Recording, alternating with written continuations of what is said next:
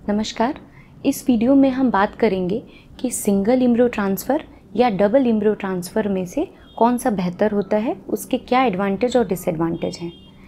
Generally अगर महिल single embryo डालना है या डबल इम्ब्रो डालना है, ये बहुत सारे फैक्टर्स पे डिपेंड करता है।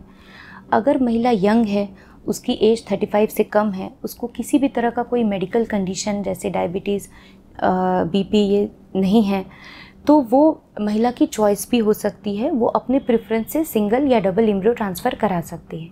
लेकिन अगर महिला की उम्र बहुत ज़्यादा है 35 से वो महिला ऊपर है, उसे किसी भी तरह की मेडिकल कंडीशन है, जैसे कोई हार्ट की बीमारी है बीपी है शुगर है, या कोई भी प्रेगनेंसी कॉम्प्लिकेशंस होने का रिस्क है।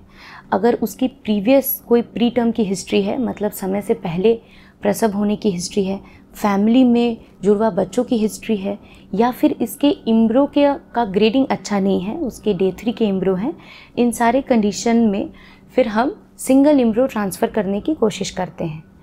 सिंगल इम्ब्रो ट्रांसफ़र या डबल इम्ब्रो ट्रांसफ़र में अगर इम्ब्रोज का ग्रेड अच्छा है, उस महिला का यूट्रस अच्छा है तो सक्सेस वाइज कोई डिफरेंस नहीं होता। डबल इम्ब्रो अगर हम ट्रांसफ़र करते हैं तो कई बार एक कंडीशन होती है कि अगर आगे चल के अबॉर्शन हो गया या गर्भपात हो गया तो साइकोलॉजिकली रहता है कि कम से कम एक प्रेगनेंसी आगे लाइव बर्थ दे। लेकिन डबल इम्रो ट्रांसफ़र के बाद कई सारे प्रेगनेंसी कॉम्प्लिकेशंस भी हो सकते हैं तो इस बात को ध्यान रखना बहुत ज़रूरी है।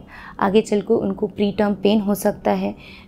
प्रेगनेंसी के जो कॉम्प्लिकेशंस हैं, जैसे एक्लेम्शिया प्री एक्लेम्शिया या बीपी शुगर बढ़ने की कंडीशन सिंगल ट्रांसफ़र से, डबल इम्ब्रो ट्रांसफ़र में ज़्यादा होती है, क्योंकि अगर ट्विन प्रेगनेंसी हो गई तो ये सारे प्रेगनेंसी के कॉम्प्लिकेशंस का रिस्क डबल हो जाता है।